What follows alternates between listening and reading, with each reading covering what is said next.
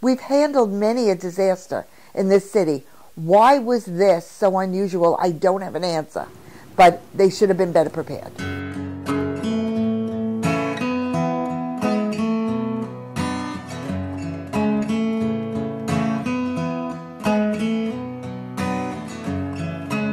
The city should have been ready and able to help and give direction to people who were rebuilding. Don't just let them rebuild. You know that this is not the right way to go.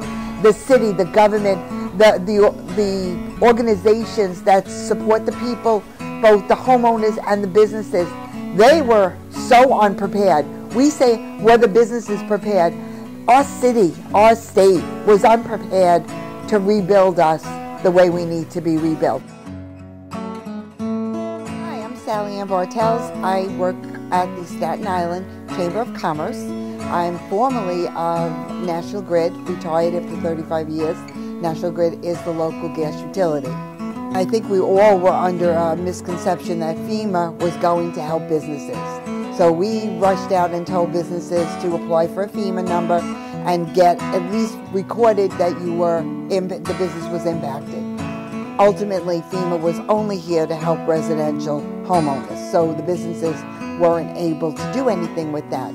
So, um, you know, they they really needed money, and their entire business, most of them, Hylan Boulevard, uh, Father Capodanno, uh, all on Midland and Sand Lane, and so on. They were so decimated, they didn't know where to start. We had about eight feet on the first floor. Um, this part of the boulevard for two miles is like a bathtub. So what happened is the water went past us probably about, by about three feet, but then it came back. The city then closed the floodgates, which they had to protect the plant, and then the water just slowly was rising. I have it on film. It just rose like two inches every minute until it got to about eight feet. So it actually got stuck in the building, you know. Um, nobody thought it was going to even come down to Hylan Boulevard, so we lost all our electronics, all our machines, everything, because salt water eventually kills everything. If it didn't kill it that week, three weeks later, everything was shot. We lost total electricity, and uh, it was very disheartening as a business owner for that to happen.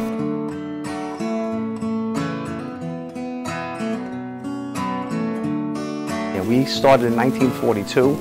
My grandfather, my uncle opened up across the street, right across the street, Will and John's. And um, they were just a small automotive repair. And they built the business. My father took over in 70, and he grew the business, and then he did a great job, my dad. And then I took over in 90 when we moved across the street. So, you know, three generations, 74, 75 years. You know, so we've seen a lot of things on Staten Island, you know.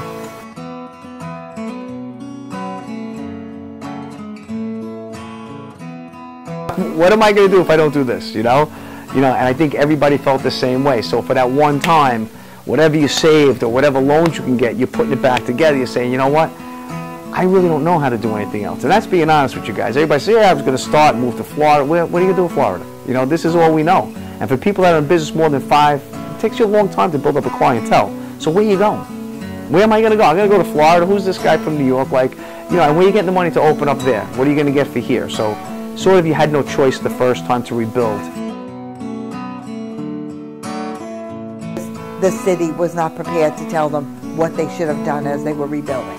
I, they, they turned a blind eye. They knew these businesses were rebuilding. They had to get back in business. On more a homeowner perspective, my daughter Juliana did work for Project Hope uh, right immediately following the hurricane, and she dealt with the homeowners and the renters in the, the beachfront community.